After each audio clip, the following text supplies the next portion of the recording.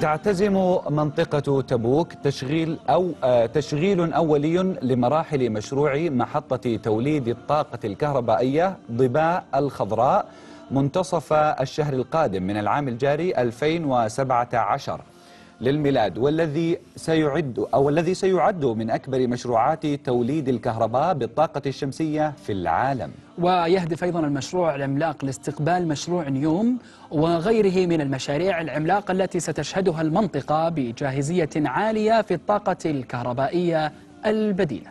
ويتوقع أن يتم الانتهاء من تشغيل مراحل مشروع ضباء الخضراء بعد تسعة أشهر من الآن ليكون بذلك واحدا من أضخم وأندر المشاريع الخاصة بتوليد الكهرباء الصديقة للبيئة في العالم. كما سيجعل المشروع من تبوك بوابة لتصدير الطاقة الكهربائية إلى العالم بعد تنفيذ منظومة ربط فريدة ونادرة لجهد كهربائي عالي الموثوقية. حيث سيتيح المشروع الاستفادة من الربط بين منطقتي الشمال الغربي ومنطقة الشمال الشرقي.